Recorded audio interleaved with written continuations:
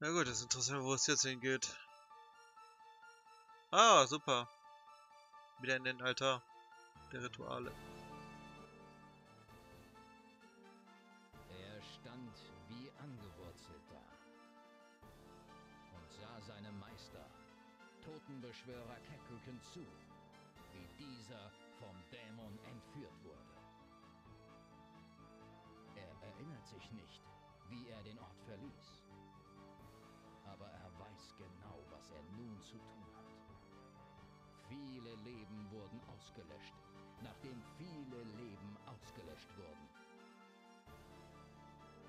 Durch Was? die Ankunft des Stammes der Dunkelheit hat er keine Zeit zu verlieren.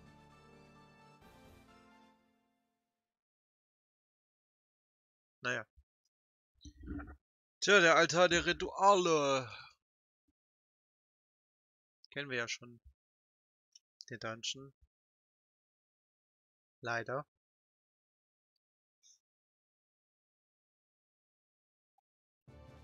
Der Altar der Rituale.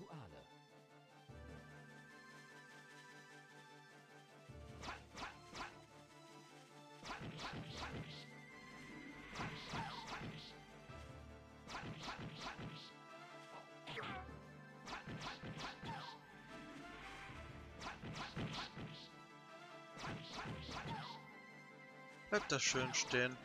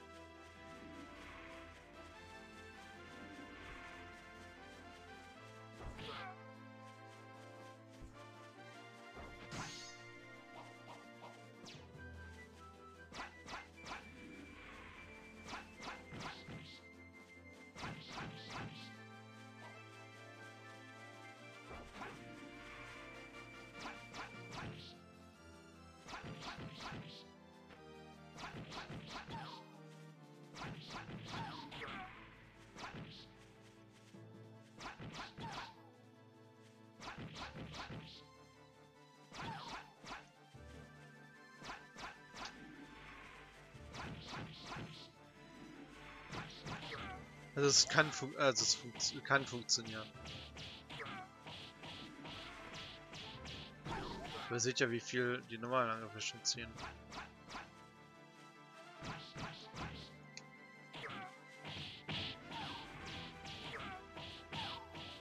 Also sagen wir es mal so. Ist ein tolles Game, muss ich sagen. Aber ich glaube, wenn man verlassen, mh, weil ich es nicht schaffen werde. Nicht, weil ich schlecht bin, sondern, äh, weiß nicht. Wir gucken uns mal die anderen beiden Charaktere noch an, äh, und dann war es das dann eigentlich auch schon für dieses Projekt, weil Charakterwahl.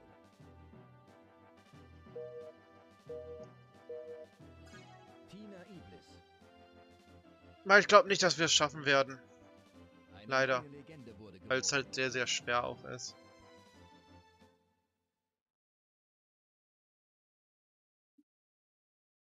Ja, und wir halt nur begrenzt äh, viel ähm, Continues haben.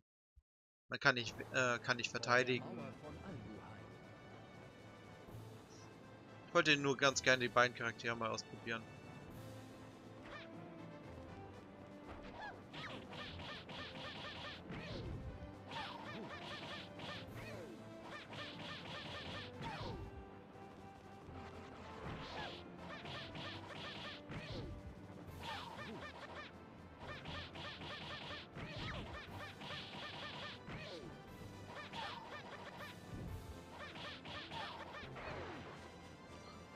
Bin ganz ehrlich, ich hätte es äh, gern mit... Äh, also ich hätte es gern durchgespielt.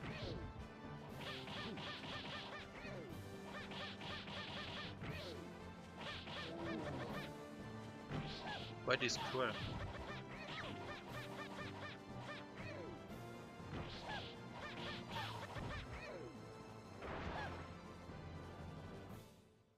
Die schnell, das gefällt mir. Echt? Das Gruselhaus als erste? Interessant. Ein Dämon des wiedererwachten Begehrens der Menschen kommt in deren Reich, um den siebten Stamm der Dunkelheit zu versiegeln. Ich guck nur kurz, ob das wieder das gleiche ist. Einige Tage später erreichten die tragischen Neuigkeiten des Königreichs Basel die Kathedrale. Der Papst und ein Pontifex sprechen miteinander. Ich hörte, der Dämon sei auferstanden. Wir sollten etwas dagegen tun.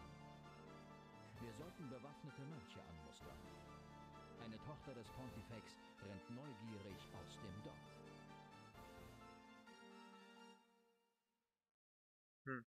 Interessant. Ja, gucken wir mal mit dir gerade ein bisschen.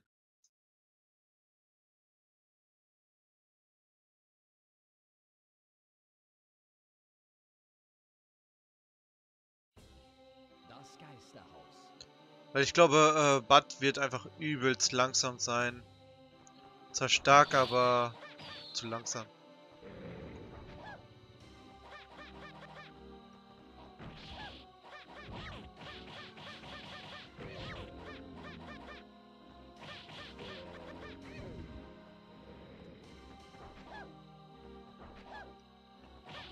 Die schnell, das gefällt mir übel.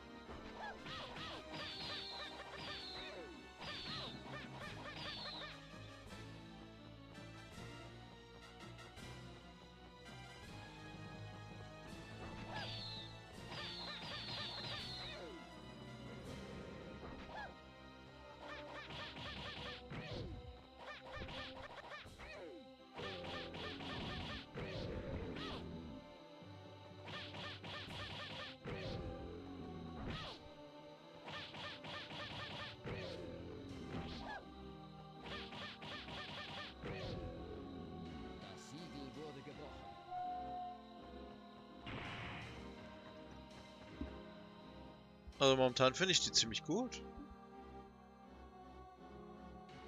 Vielleicht muss man auch einfach nur mit den Charakteren mal ausprobieren. Ja, schauen wir mal. Also wir werden mal dieses, äh, das erste Level werden wir mal durchspielen, finde ich. Also ausprobieren, wenn wir echt ziemlich gut durchkommen. Ähm, vielleicht werden wir dann weiter mit, äh, mit ihr spielen.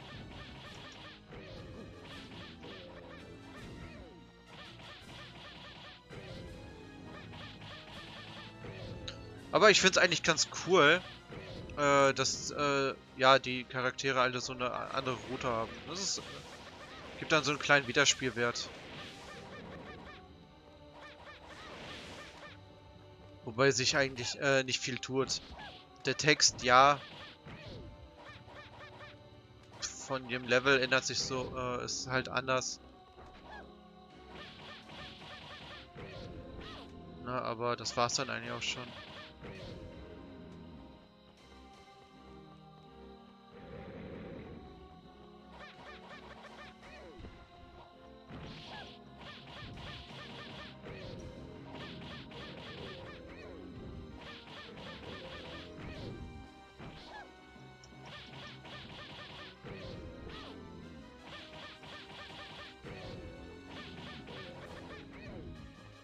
Na, der Rotz ist, üb äh, ist übel nervig.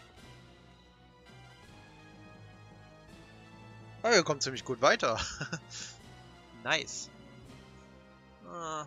Ja, die ist schnell, das gefällt mir. Ich mag, äh, mag es, wenn Charaktere schnell sind. Wie gesagt, die Valkyrie war auch ziemlich cool. Mit der habe ich das Spiel auch schon fa äh, halt fast durchgespielt. Nur Dann kam halt der Bo äh, Boss-Rush-Modus und dann musste man halt nochmal gegen alle kämpfen. Das war dann halt... Hatte ich nicht mehr genügend Continuous. Weil einige Bosse sind echt übel. Auch übel nervig.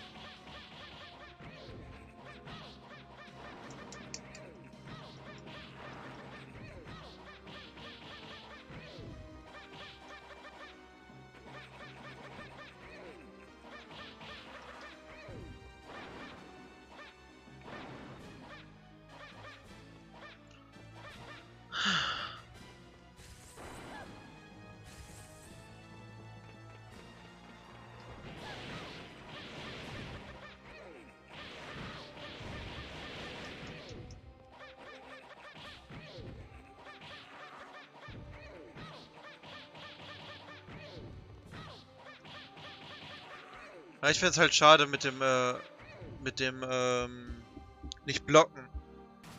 Ich würde gern blocken. Muss ich sagen.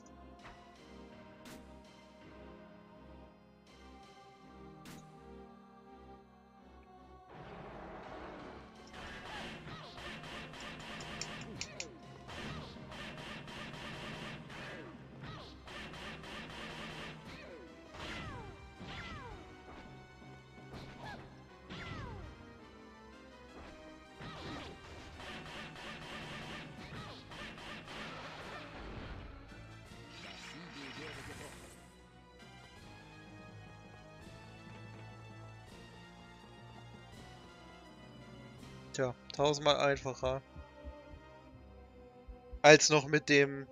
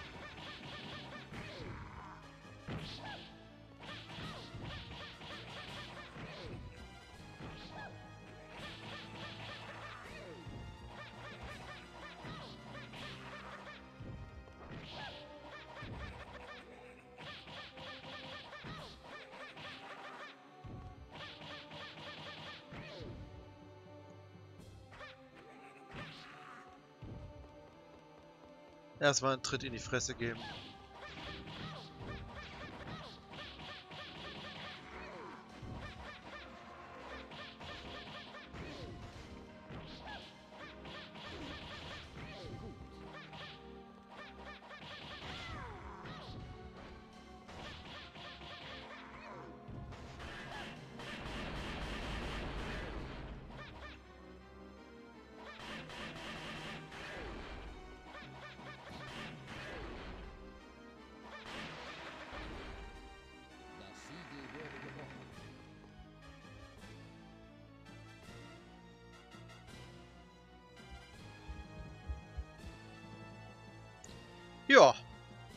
Schön, ne?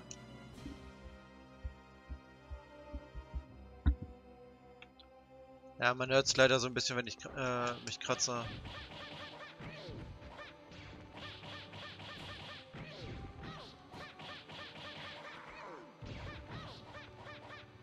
Oder wenn ich ein bisschen gegen den Kopfhörer äh, schlage.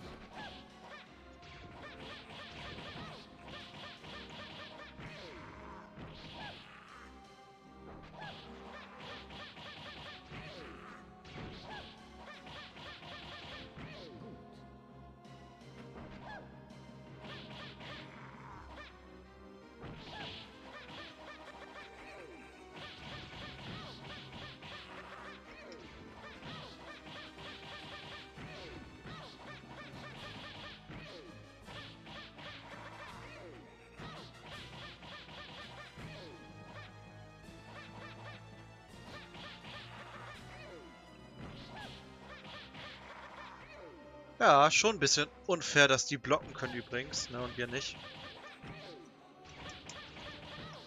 Ja, ist nicht fair.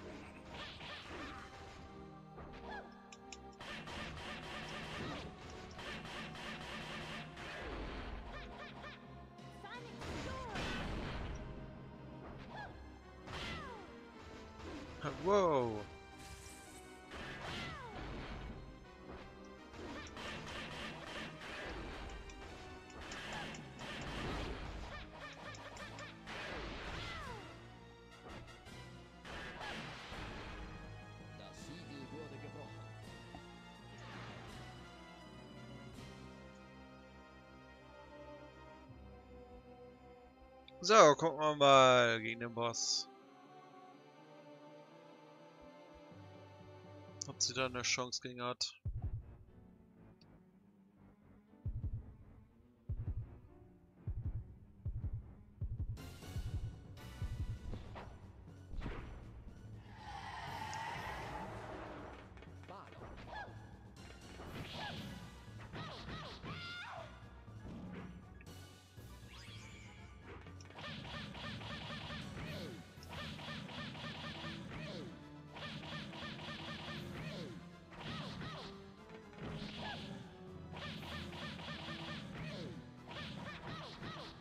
Macht viel Damage, das ist das Problem.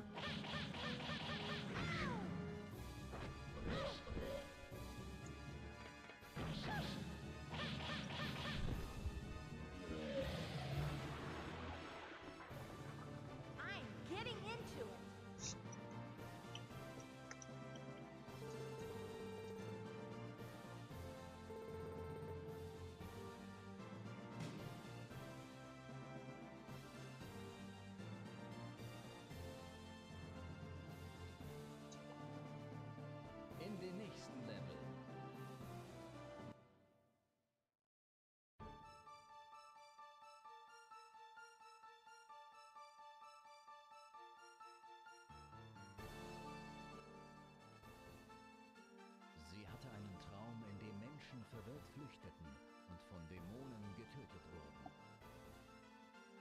Sie wurde wegen ihrer speziellen geistigen Fähigkeit seit ihrer Kindheit als Schamanin ausgebildet.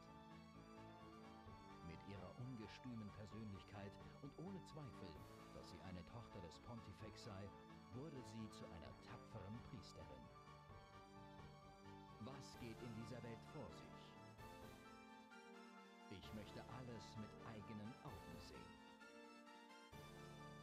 Dieser Überlegung machte sie sich auf zu den Ruinen.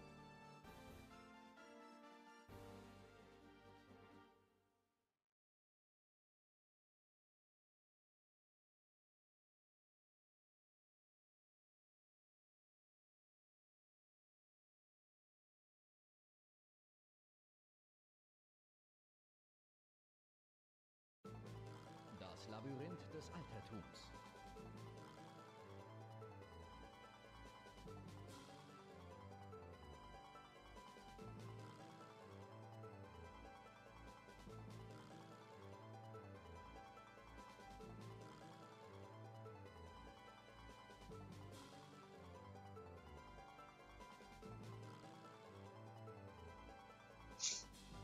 Also es gibt äh, eine Methode.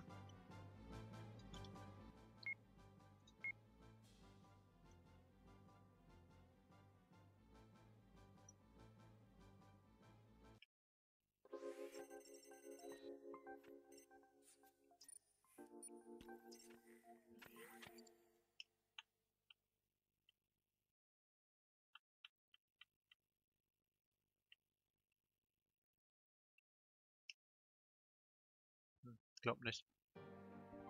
Was geklappt hat. Gucken wir mal. Charakterwahl. Ne.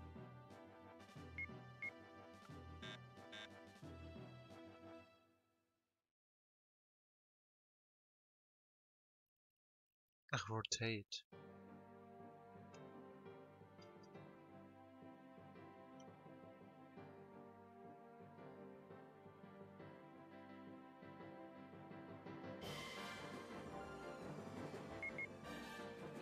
Gucken wir mal. Also im Grunde... Ah, ich starte mal kurz die Playsee neu.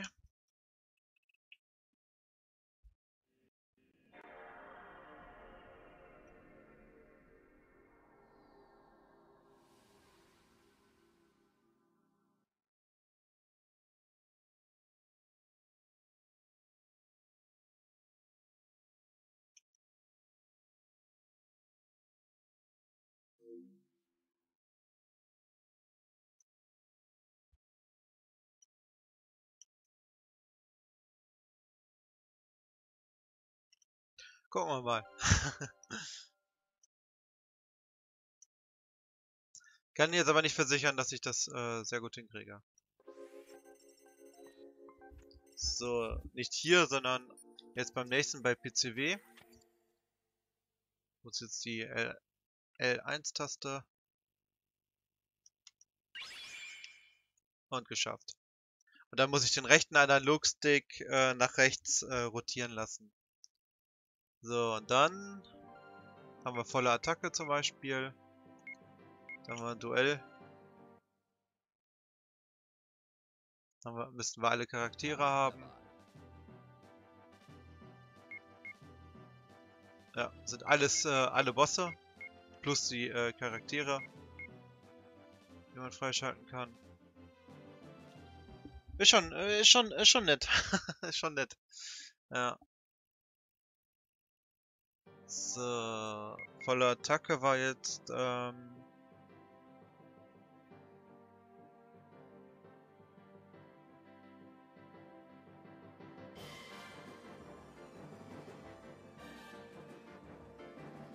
Genau, wenn wir volle Attacke machen, haben wir sogar noch einen sechsten Charakter. Charakterwahl. Ja, wir haben einmal Grey, Bud, Raybrand, Tina. Dann haben wir Iria, die Valkyrie. Und dann noch Alicia, gefallene Engel. Spielen wir mit ihr. Sie hat ja alles voll. Sie hat ja alles voll. ah, nice. Feier ich gerade. Ja, ist jetzt, ist jetzt nicht äh, die feine Art, einfach einen Cheat zu aktivieren, aber Ach, why not? Spielen wir einfach mal aus Just for Fun. Ich will sie mal ausprobieren. Vielleicht ist sie, äh, vielleicht ist sie ja äh, auch ziemlich gut.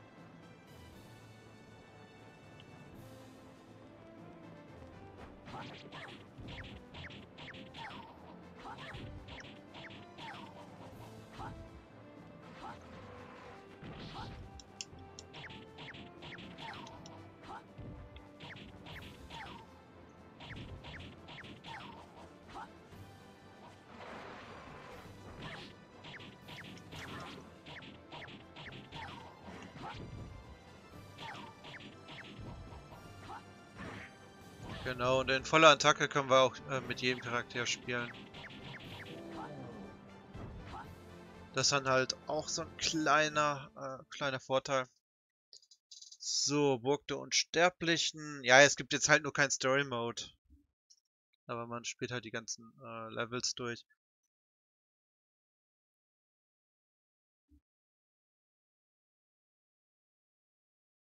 Kann sogar sein, dass die der Endboss ist, ich weiß es nicht.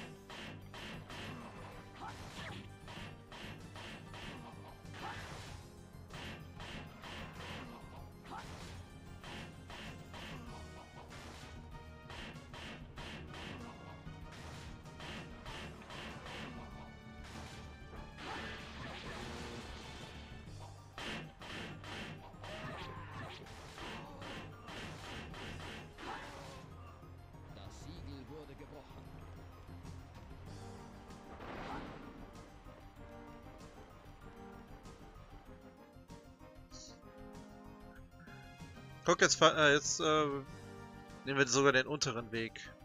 Mit dem anderen Charakter, mit dem Grey hatten wir den oberen gehabt. Das finde ich wiederum ganz cool, dass man einfach mit den verschiedensten Charakteren dann auch äh, ja, verschiedene Wege gehen könnte. Na.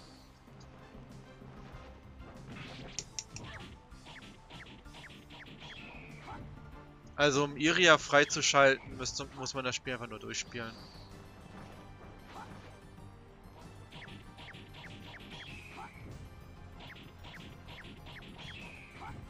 Also wie gesagt, an sich finde ich das Spiel echt mega geil.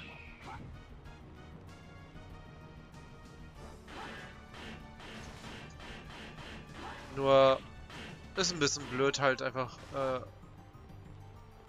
ja vom äh, vom Schwierigkeitsgrad erstmal finde ich es blöd.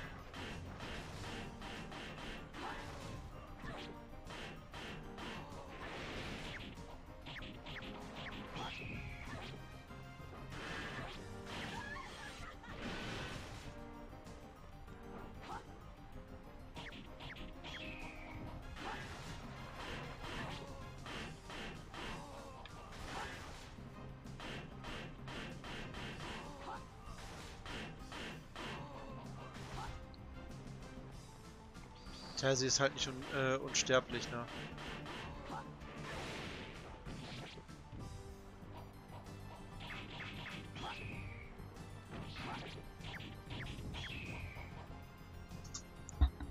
So. Aber der gleiche Zwischenboss. Nur, äh, epischer Eintritt.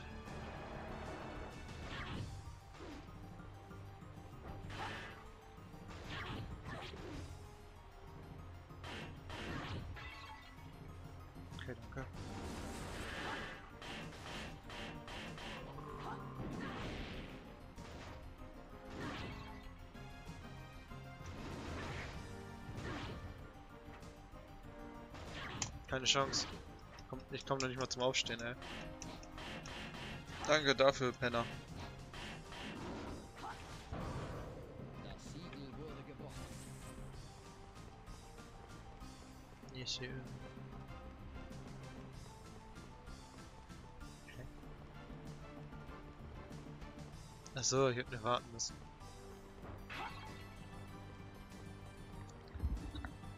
Ja, Leute, so sieht's aus.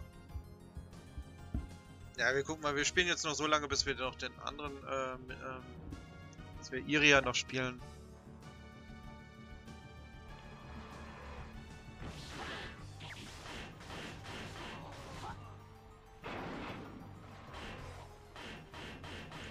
Was mir gefällt, sie hat eine schöne Reichweite mit ihrer Waffe. Weil die halt so lang ist. Das ist echt cool.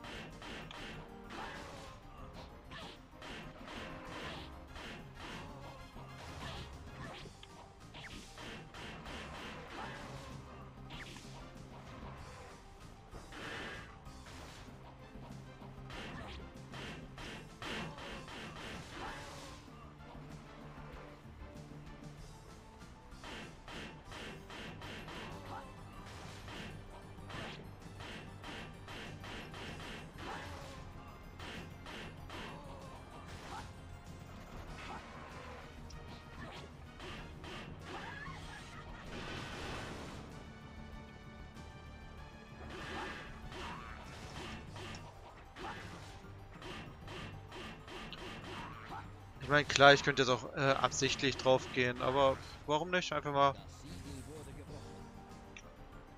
einfach mal ausprobieren. Vielleicht. Ja gut, was heißt vielleicht so?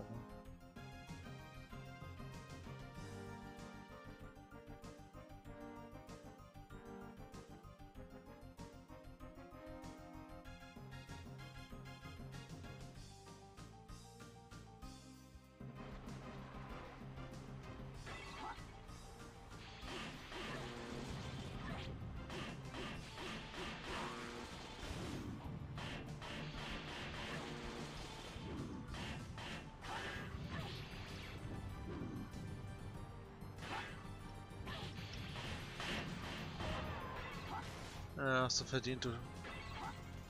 Scheiß Penner, ey.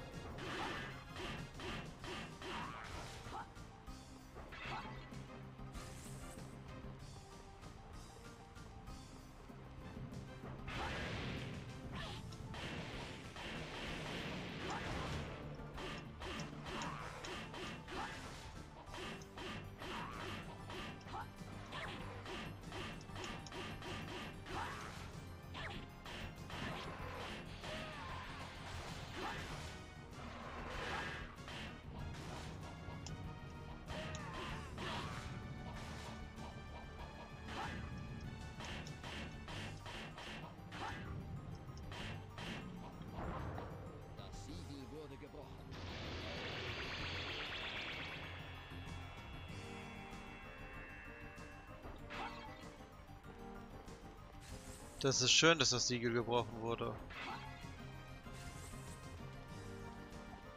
So, dann klatschen wir jetzt gerade noch die ja, Eiskönigin, kann man ja im Grunde sagen. Ist sie ja.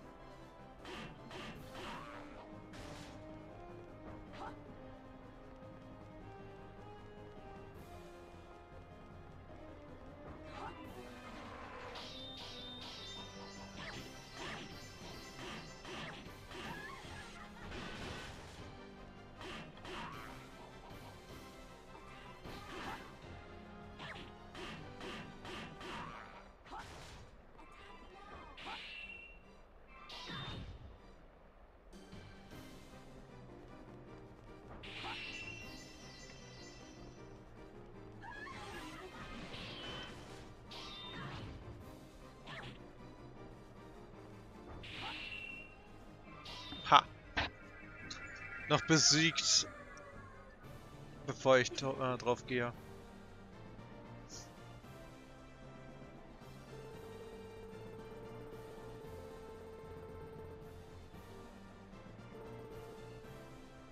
Ara. In den nächsten Level. In den nächsten. Das Geisterhaus, ja schön. Nur her damit. Mit dem blöden Geisterhaus.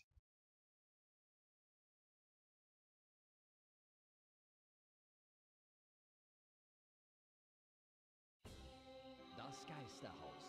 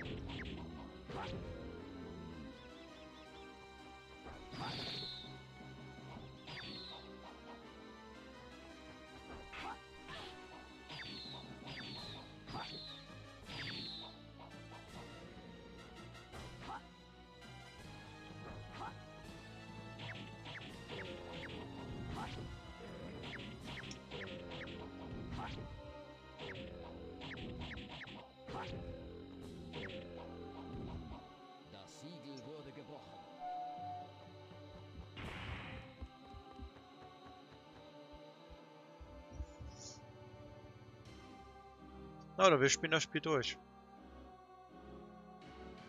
Schauen wir mal.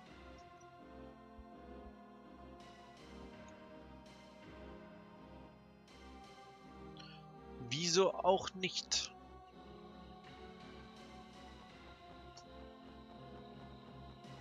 Also im Grunde macht es mir Spaß, so ist es ja nicht, ne? Ist ein cooles Game.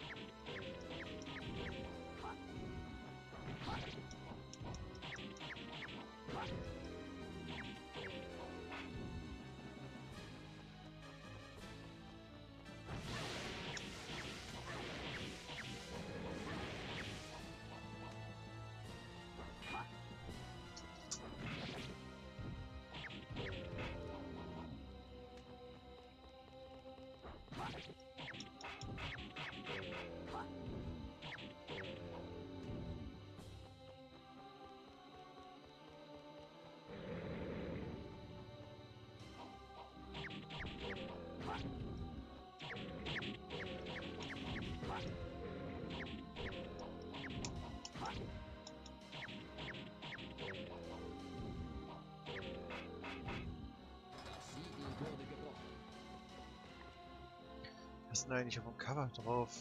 Der Zauberer ist drauf. Die Priesterin. Ja gut, alle, äh, alle vier Charaktere sind hier drauf. Ja. Aber der Zauberer ist natürlich äh, am größten. Interessant.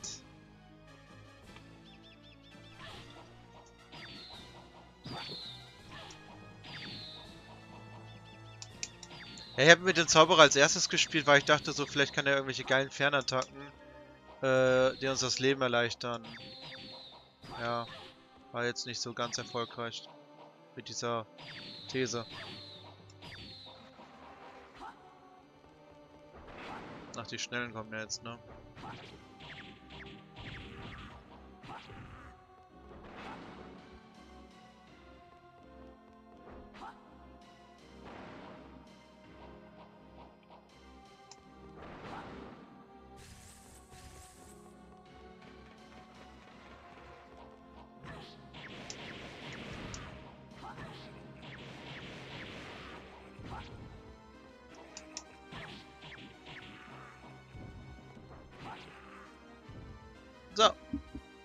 erstmal wieder der Boss.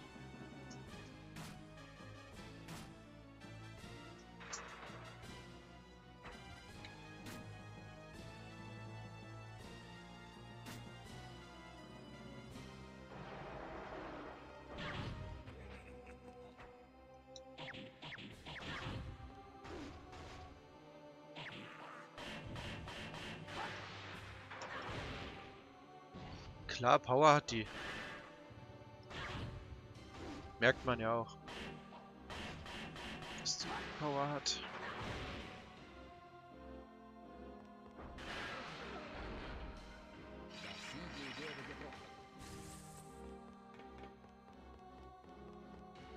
So, nächster.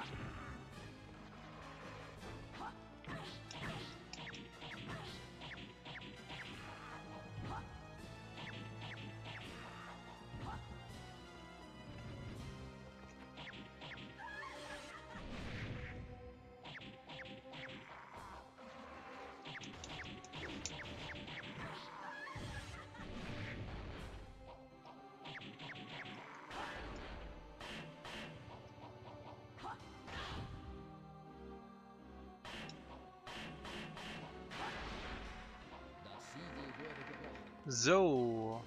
Ne, zum Boss sind wir noch nicht. Leider noch nicht. das wäre schön, ja. Na, gucken wir mal. Vielleicht schaffen wir es mit diesem Charakter auch, das Spiel durchzukriegen. Das wäre natürlich geil. Ja. Ist halt nur keine Story, aber... Denkt euch die Story einfach da. Ich meine, der Zauberer war irgendwie ganz böse oder so. Ich glaube, sowas in der Art war das gewesen.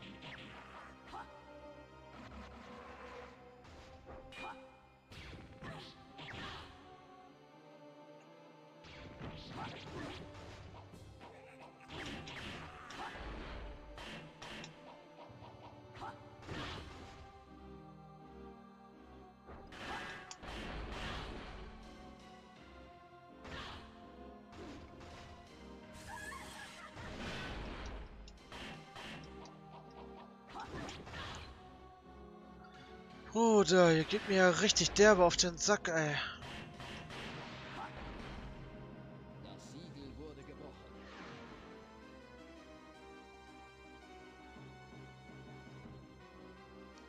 Na gut, ich meine, es ist geil.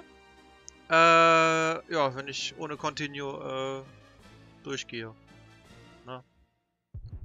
Das wäre natürlich äh, fantastisch.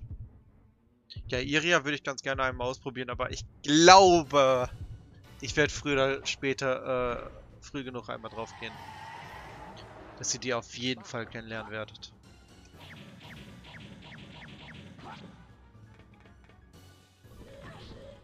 Scheiße.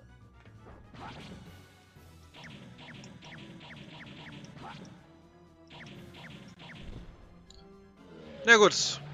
Im Grunde, ja, ich war mir jetzt nicht sicher, ich wollte vorsichtshalber abwarten.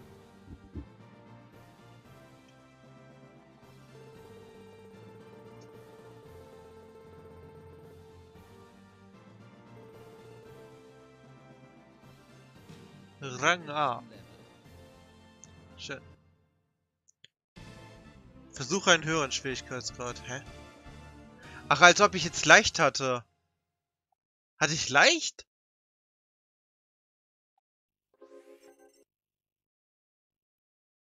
Ach, Mist. Ja, wahrscheinlich hatte ich leicht drin.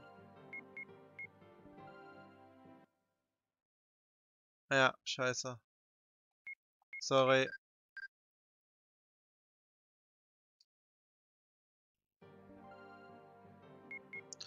Im Story-Modus werden wir nur die vier Charaktere haben. Ne, beziehungsweise Iria müsste es auch sein.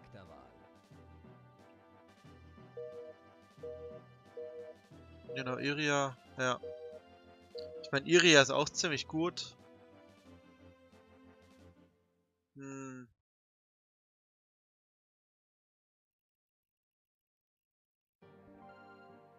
Ja gut, das kotzt mich jetzt so ein klein bisschen an. Mist.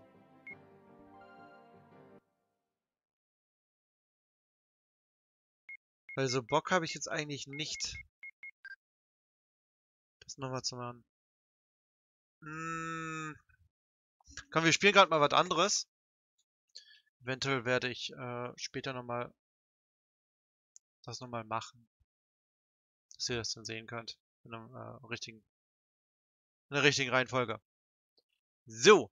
Das war's jetzt erstmal von Rachel Blade. Äh, da wird auf jeden Fall noch was kommen. Wir werden es auch noch, auf jeden Fall nochmal versuchen. Alles klar, Leute. Bis, äh, bis zum nächsten Mal. Haut rein.